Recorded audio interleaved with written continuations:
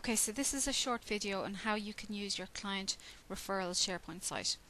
So to access it, you go to meathvec.ie, you pick up VEC Staff SharePoint, and you log in. Okay, if you don't log in there, um, it brings you to the public site and you click on the right hand side and you log in. But basically you want to get to the VEC staff page. Okay, from here you go to VEC head office. You select that and you can see your client referrals list or site is listed there above the conference room reservations. So you select that. Now there's a couple of things you can do here. You can either add that to your favorites so that your site here is added to your favorites or what you can do is if you're using a number of SharePoint sites quite often you can add them to your links. So you simply over here on the right hand side beside my site click on the little black triangle and what you can do is add to my links. And this page or any other page will add to your links list. So just click that and click OK. That then every time you're on any SharePoint page you can then click up or pick up your link page there, your client referrals page. So that's really handy if you happen to be on a half a dozen SharePoint sites just to add them into your links. Okay, so how do you use this site? You've, it's a very basic site. You've got client referrals tasks and you've got client contact referrals.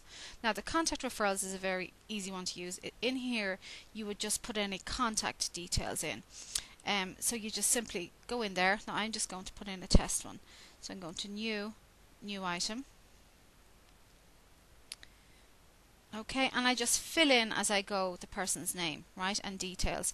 Anything that has a red asterisk means that you must fill it in. So I'm just going to put in test. Now I could obviously fill in as much information as as required for that person and any other general information and notes but in this case I'm just leaving it blank so I just select OK. That then has gone in right? Um, and the information that you see about that person is listed. Now there is five or six key pieces of information there. You can sort them on last name by clicking on it, on first name and so on. If you want to delete that person's contact details again, you just simply delete the item and press OK and that one goes. Okay, so that's just for contact lists. The main place you're going to use it, um, this is your breadcrumb back here, so I'm just going to go back to client referrals because the main place you're going to use it is for when you actually want to refer somebody on to somebody else. So that's listed in here under client referrals tasks. So just select that there. Now I'm going to put in a new um, referral onto somebody here. So it's a new new item Okay, so the title is uh, this could be a, a, phone call from somebody, um, or it could be a general information. So I'm just going to put this as a test uh, referral. Okay, the priority you choose is it high, is it normal, or is it low? In this case, it's a high referral. Now, the status of this task is obviously if this person hasn't even been referred on, it's just general, not started. Um, how much complete is it? 0% complete. If this was a general task, you could and assigned how much of this task is actually completed at this time. Who are you assigning it to? Okay, so in this case I'm going to browse. I'm going to pick up Hazel's name here. I'm going to pretend that I'm going to refer somebody onto her. So I type in Hazel and I find her. So I pick her up here. Okay, and select OK now that her name is listed in there. Now I can type in here a general information. Okay, I'm just saying that this is a test, but you could put so and so called me, I'm referring them on to you. And then the start date and the due date. Now this is because it's related back to office, um, office assignments that you're assigning someone a task. Um, the start date is basically today's date. Alright, it'll always take it as a date. But if they rang you last week, you can pick up your calendar here and you can go back a day. Alright, but I'm going to leave it as today. If it was a particular task that somebody wanted something done by, again, you can pick up the due date and put in a due date, or you can leave it open-ended, which I'm going to do here. So I'm just going to select OK.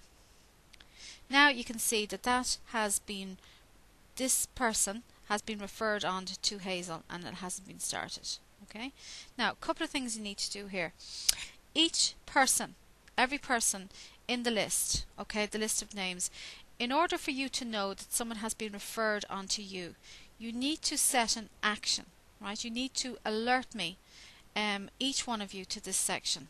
So what you need to do is when you go in here, so I'll go back to the start again. Okay, so what you're going to do is you're going to set an alert me that if anything changes in here, that any or all of you people will get an alert. Right, so each one of you have to do that. So you do is you simply go into client referrals tasks. Okay, now you'll only get an alert if the alert relates to you. So what you do is you go up here to actions. Don't do it down here. So each one of you have to do this. So you select actions and you select alert me. Receive email notifications when items change.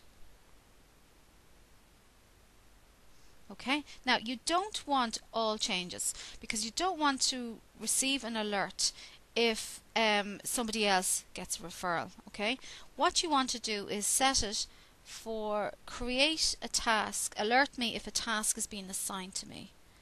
Okay, so just this one here. Someone else changes a task assigned to me. Right, you see that there?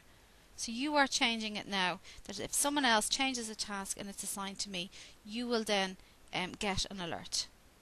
Okay, when to send it, send it immediately generally. Okay, and then select OK. I now have an alert. So if somebody assigns me a task or a referral, I will get an email on that. Okay. Now again, that was um, a test, a referral, but I'm going to delete that there now. So I'm going to simply click on the little black triangle here, and I'm going to delete it. Now you can set an individual alert, but you're as well just set it up here under actions. So in this case, down here, delete the item and press OK. Okay, so again, if I go back to client referrals, um, the section now is blank because I've taken out that test. Alright, now you can, in here again, you can put in documents, that's just a small document library, and the only people that have access to those documents are these people listed here.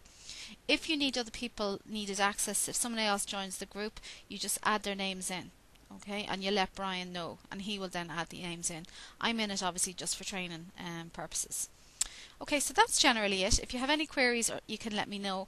I hope to meet all the program coordinators anyway in the next week or so to talk about your SharePoint site. So if you're not sure about it, you can of course let me know. I'll be in on Thursday um, in general.